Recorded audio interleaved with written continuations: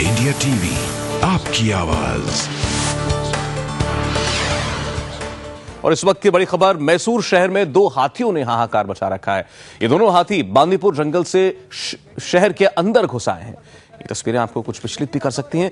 सुबह छह बजे के करीब ये दोनों हाथी मैसूर शहर के अंदर घुस आए देख सकते हैं कैसे एक व्यक्ति को इस हाथी ने कुचल कर मार डाला। एक हाथी मुख्य सड़क से होता हुआ शहर के रिहायशी इलाके शरास्तीपुरम में घुस गया जबकि दूसरा ಸಿಎಂ ಯಡಿಯೂರಪ್ಪ ಅವರು ನಮ್ಮ ಜೊತೆ ಸಂಪರ್ಕದಲ್ಲಿದ್ದಾರೆ ಆ, ಸ- ಸ- ಯಡಿಯೂರಪ್ಪ ಅವರೇ बामू बाजार इलाके में घुस आया ಈ ಒಂದು ಆನೆಗಳು ದಾಳಿ ಮಾಡಿದೆ ಏನು ಹೇಳ್ತೀರಾ ಈ ಬಗ್ಗೆ ಆ, ದಾಳಿಯನ್ನ ಆ, ದಾಪುಗಾಲನ್ನು ಇಟ್ಟು ಈ ಸಂದರ್ಭದಲ್ಲಿ ಅಲ್ಲಿ ನಾಲ್ಕೈದು ಬಾರಿ ಅರ- ಅರ- ಏನು ಅರಣ್ಯ ಅಧಿಕಾರಿಗಳು ಅರಣ್ಯ ಸಿಬ್ಬಂದಿಗಳು ಅದರ ಮೇಲೆ ಒಂದು ಅರಿವಳಿಕೆ ಮದ್ದನ್ನ ಪ್ರಯೋಗವನ್ನು ಮಾಡಿದ್ರು ಇಷ್ಟಾದ್ರೂ ಕೂಡ ಅದು ಪ್ರಜ್ಞೆನ ತಪ್ಪಿರಲಿಲ್ಲ और ये देखना अब ये दूसरा हाथी और इसने गाय को आ, मार डाला ये दोनों बेकाबू हाथी ಒಂದು ಆನೆ शहर के ಪ್ರಜ್ಞೆ ತಪ್ಪಿದೆ भीड़ भाड़ वाले इलाकों के अंदर ಮೈಸೂರು ಹೊರ जंगल से भागकर आ गए और आप देख रहे हैं कैसे ये हाथी जो है गाय को रोंद रहा है। आपको बता दें कि इन हाथियों पर काबू पाने की कोशिश अब भी जारी है, लेकिन वन विभाग ने भी साफ़ कर दिया कि अगर एक घंटे के अंदर इन्हें काबू में नहीं किया जा सका तो इन्हें गोली मार दी जाएगी। ये अब तक एक आदमी की जान ले चुके हैं और एक गाय को मार चुके हैं। तस्वीरों में आप देख रहे हैं कैसे वहाँ के एक प्रमुख बाज़ार के इलाके में हाथी घुसा तो इसके सामने एक गाय पड़ गई और इसने उसे रौंद कर मार डाला। और ये तस्वीर वाकई विचलित करने वाली है। कैसे एक पचपन साल के व्यक्ति को रौंद रौंद कर इस हाथी ने मौत के घाट उतार दिया। मैसूर शहर की तस्वीरें इस वक्त आप देख रहे हैं। दो बेकाबू हाथी जंगल से भागकर शहर के अंदर आ गए और इन्होंने चारों तरफ़ हाहाकार बचा रखा है। अभी भी ये दोनों के दोनों हाथी शहर के अंदर ही मौजूद हैं। पुलिस एक पचपन साल के आदमी की जान जा चुकी है और दूसरा हाथी जो कि बाज़ार के इलाके में चला गया था उसने एक गाय को रौंद कर मार डाला। मैसूर की तस्वीरें आप देख रहे हैं। इस वक्त ये दोनों बेकाबू हाथी शहर के अंदर अब भी मौजूद हैं और चारों तरफ़ इन्होंने तबाही मचा रखी है।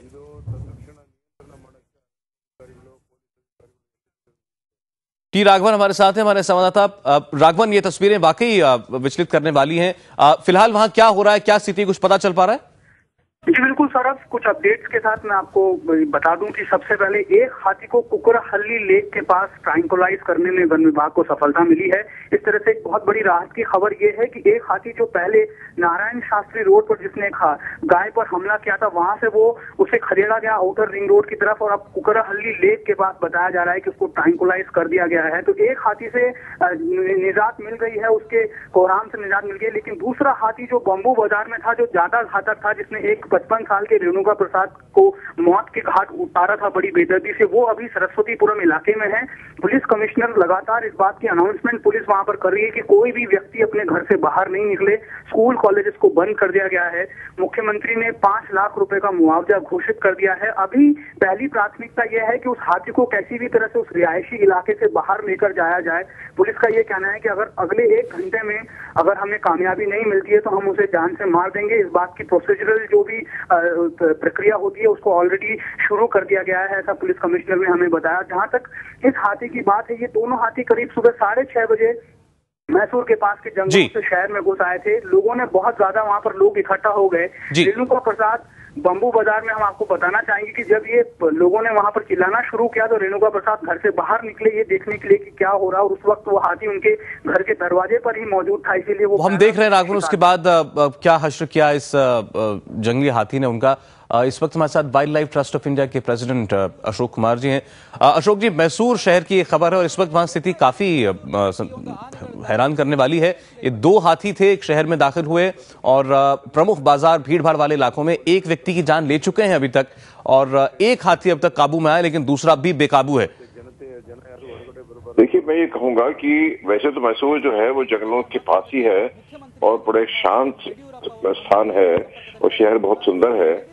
और अगर वो शहर के किसी हिस्से में जंगली हाथी घुसाए हैं तो उनका जो सबसे पहला तरीका ये होना चाहिए कि फॉरेस्ट डिपार्टमेंट को संपर्क करना चाहिए। ट्रैंकुलाइजिंग गन उनके पास होनी चाहिए। आ, अब अगर कहीं आसपास में होता जैसे कुछ कुछ दो साल पहले मेरठ में ऐसा किस्सा हुआ था तो हमने ट्रैंकुलाइजिंग गन के साथ एक वेटरनेरियन को भेजा था। और उनको शांत करने के लिए उनको अगर एक वेटरनरी डोज दे दी जाए, या इस वक्त भी तरीका ये है कि कोई खाना या केला वगैरह जो है उसमें ये दवाइयाँ डाल के जो होती है नींद की दवाइयाँ होती हैं, उसमें चीप के अंदर रखी जाए और उनको खिलाई जाए तो शांत हो जाएँगे। परंतु सबसे पहली बात यह है कि भीड़ पर नियंत्रण रखना ये सरकार को करना चाहिए। लोगों से कहना चाहिए, देखिए, खतरनाक चीज़ है, आप यहाँ से हट जाइए, हाथी अपने आप शांत होकर थोड़ी देर में निकल जाएगा और उसमें तरीके जो हम मैंने आप बताए हैं, ये इन तरीकों का प्रयोग होना चाहिए। भीड़ और हल्ला, गुल्ला, शोर इस प्रकार से तो हाथी और भड़केगा। जी, ये जो जैसे हम तस्वीरों में भी देख रहे हैं बेहद ज़्यादा इस वक्त गुस्से में नज़र आ रहे हैं दोनों के दोनों हाथी। ये बिना किसी प्रोवोकेशन के भी किसी पर भी हमला कर सकते हैं? देखिए, अगर उनको परेशान किया गया जोड़ाया गया, चिल्लाया गया, किसी ने पत्थर आदि फेंके तो ज़रूर हमला करेंगे। जी, और एक एक एक अपडेट हमें और मिल रहा है अशोक कुमार जी, वो ये कि वहाँ पर जो वाइल्ड लाइफ की टीम थी, उन्होंने 25 बार इन हाथियों को ट्रैंकलाइज करने की कोशिश की, लेकिन एक को करने में वो कामयाब हुए हैं, दूसरा अब भी ऐसे ही बेकाबू है। इतना वक्त और इतनी कोशिशें लग जाती हैं एक एक एक हाथी को काबू में करने के लिए? देखिए, मैं बहुत, ये जान के बहुत प्रसन्नता है कि उनके पास ट्रैंकुलाइजिंग टीम है, और क्योंकि हाथी का बहुत बड़ा शरीर होता है इसलिए ट्रैंकुलाइजर को समय लगता है अवश्य उसको ट्रैंकुलाइज करने के लिए क्योंकि जब तक वो ड्रग असर नहीं करती और जबकि उत्तेजित होता है तो ड्रग का असर भी कम होता है। पहली बात तो ये है। तो थोड़ी डो, डोज बढ़ानी पड़ेगी उनको और दूसरी ट्रैंकुलाइजिंग डार्ट मारनी पड़ेगी। जी। और अभी फ़िलहाल एक हाथी जो है, वो अभी शहर में है। लेकिन ये ये बात आपको सुन के कुछ अटपटी लग रही है अशोक कुमार जी, कि हाथी जो है, बिल्कुल प्रमुख शहर में घूमे, घूम रहे हो, आखिर जंगल से निकल के और मेन शहर के बाजारों में इस किस्म के जानवर आ जाए, ये बात थोड़ी अटपटी नहीं है? बिल्कुल अटपटी है, क्योंकि जंगल वहाँ पर कुछ दूर है, बिल्कुल साथ लगा हुआ तो नहीं है। तो ये किसी कारण से रास्ता भूल गए, इस प्रकार से को उनको शहर की तरफ़ आना पड़ गया। और उसके बाद मुझे ऐसा लगता है कि किसी ने दौड़ाया है पब्लिक वहाँ पर होती देखिए कौतूहल होता है।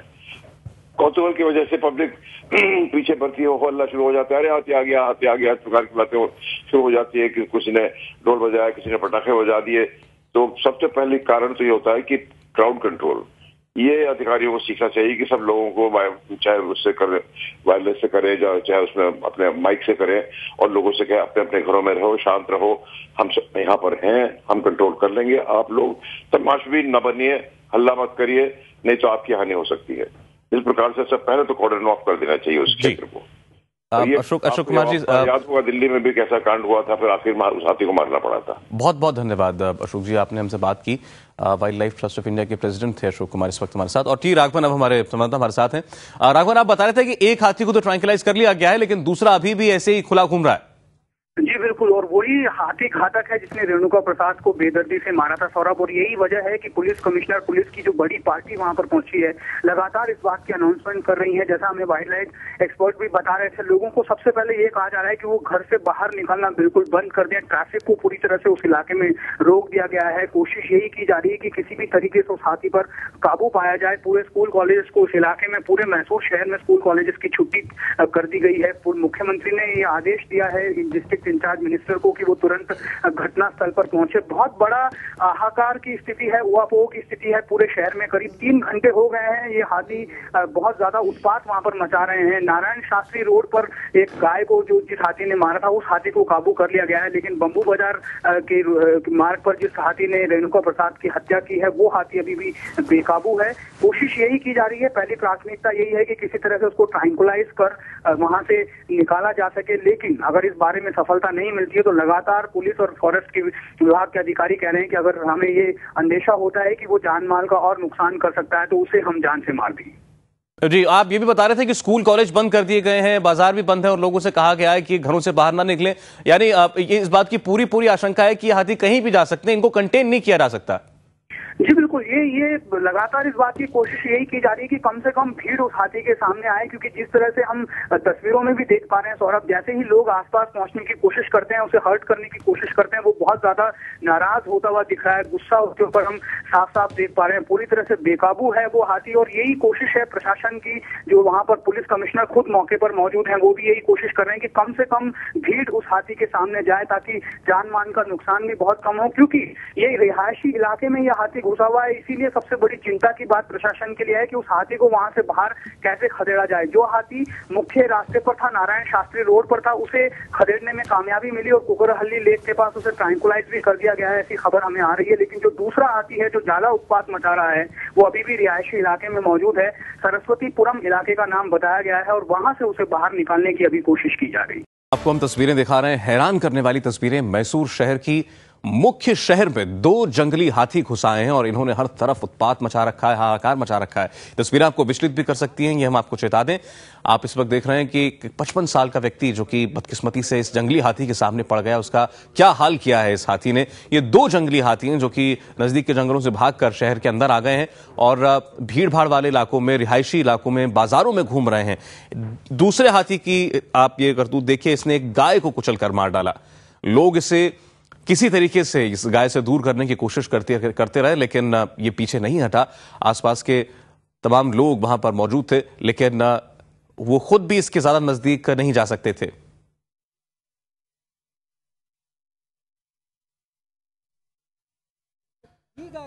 और देखिए कैसे वन विभाग के कर्मचारी जो हैं इस हाथी को ट्रैंकुलाइज करने की कोशिश कर रहे हैं। ट्रैंकुलाइजिंग डार्ट उनके पास है। एक हाथी, ये खबर मिल रही है कि एक हाथी को ट्रैंक्यूलाइज किया जा चुका है, यानी वो अब शिथिल पड़ गया है। लेकिन दूसरा हाथी, और वही ज़्यादा खतरनाक है, जिसने एक व्यक्ति की जान ली है, वो अभी भी पूरी तरीके से बदहवास शहर के अंदर घूम रहा है। एक हाथी बेहोश किया जा चुका है, लेकिन दूसरा ज़्यादा खतरनाक जो हाथी है, वो अभी भी बाज़ार में घूम रहा है। और इसके इस खबर के आने के बाद पुलिस का दल वाइल्ड लाइफ डिपार्टमेंट का दल मौके पर मौजूद है। इस दूसरे हाथी को भी काबू में करने की कोशिश जारी है। लेकिन एक बात साफ़ कह दी गई है वन विभाग के द्वारा कि अगर इस हाथी को थोड़ी और देर में काबू में नहीं किया जा सका, या इस पर अगर ट्रैंकुलाइजिंग डाट का असर नहीं हुआ तो इसे गोली मार दी जाएगी, इसे मार डाला जाएगा। शहर के स्कूल, कॉलेज बंद कर दिए गए हैं। लोगों को घरों में रहने के लिए कहा गया है। बाज़ार खाली हैं, क्योंकि ये हाथी अभी भी आज़ाद घूम रहा है। एक एक आदमी की जान ले चुका है। बड़ी ही बेदर्दी से इसने कुचल कुचल कर एक आदमी को मार डाला।